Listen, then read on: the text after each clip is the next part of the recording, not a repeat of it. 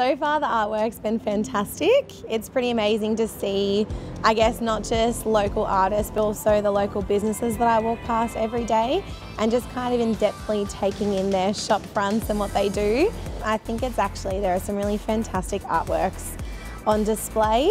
And I think that even if you don't have an artistic view of the world, I think they're pretty easy to engage with. So I think that everyone will enjoy it.